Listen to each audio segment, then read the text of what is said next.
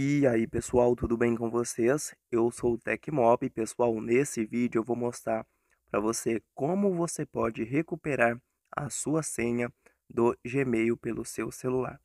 Para você recuperar a sua senha do Gmail é bem simples. Primeiramente você precisa acessar o aplicativo do Google, ok? E acessando o navegador Google você vai tocar sobre fazer login e clicando aqui em fazer login você vai informar o seu e-mail, ok, pessoal? Porém, se você não sabe é, qual e-mail que, que você cadastrou na sua conta, você toca aqui em esquecer o seu e-mail, ok?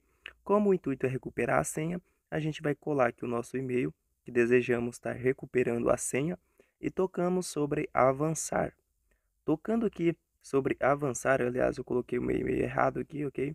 Vou estar corrigindo ele aqui, ok, pessoal?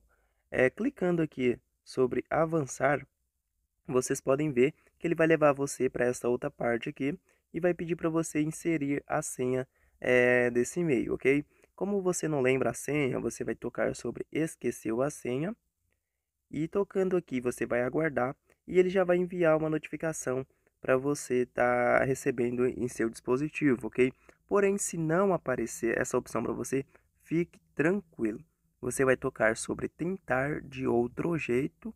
E tocando aqui em tentar de outro jeito, é, ele vai levando você para as partes onde você pode estar recuperando. Podem ver aqui que quando eu criei a minha conta, eu cadastrei é, um número de telefone e uns códigos aqui alternativos, ok? Você vai escolher, vamos supor, o número de telefone, é, vai aguardar, ele vai enviar o código para você enviando o código para você. Você vai informar esse código aqui e é, informando o código você vai clicar sobre próximo e assim, pessoal, ele vai estar tá dando a opção para você estar colocando a nova senha na sua conta do Gmail, ok?